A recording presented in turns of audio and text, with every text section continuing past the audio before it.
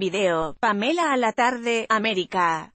En Pamela a la tarde, anunciaron que el exmarido de Andrea Estevez, estaría esperando un hijo con otra mujer. La actriz y conductora como invitada completaron la información y ella habló de su ex y padre de su hija Hannah.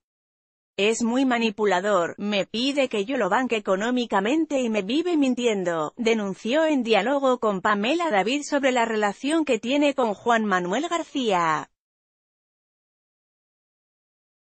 También lo culpó por el daño que sufre psicológicamente desde que se separaron y debió regresar sola con su pequeña de seis meses al país. Con respecto a la situación de infidelidad que le tocó vivir admitió, me mandaba mensajes amorosos mientras estaba en la cama con su amante. Luego, aseguró que es un padre totalmente ausente, hace tres meses y medio que llegué de Estados Unidos, soy una mamá canguro, reafirmando que está todo el día con su hija.